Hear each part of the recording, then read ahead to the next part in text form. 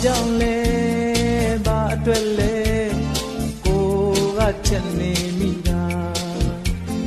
မေးရလွယ်ပေမဲ့အဖြစ်ခက်သိတယ်လို့မသိတယ်လို့ပါပဲ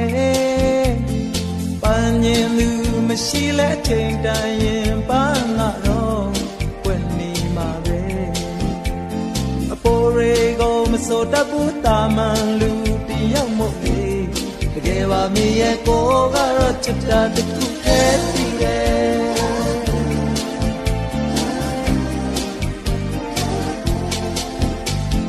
ဘယ်လောက်လဲ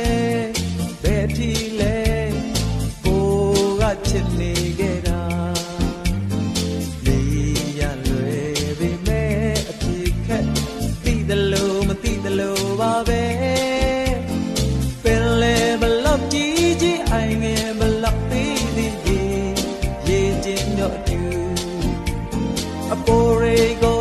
တတ်ဘူးတာမန်လူတယောက်မို့လေ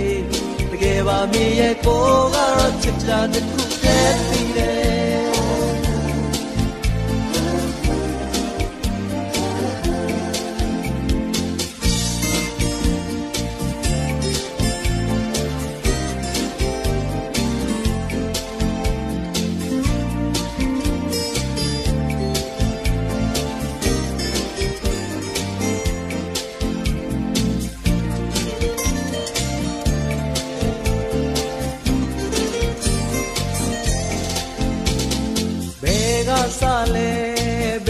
ဆုံးမလဲကိုကချစ်နေရတာလေးရန်လွယ်ပေမဲ့အဖြစ်ခက်သိတယ်လို့မသိတယ်လို့ပါပဲ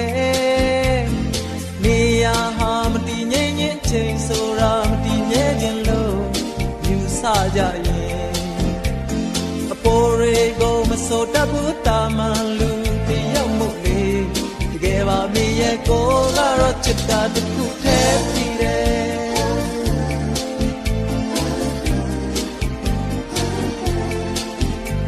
အပေါ်ရေကိုမစိုးတတ်ဘူးတာမန်လူတယောက်မို့လေတကယ်ပါမြေရဲ့ကိုကတော့ချစ်တာတစ်ခုတည်းပြီးတယ်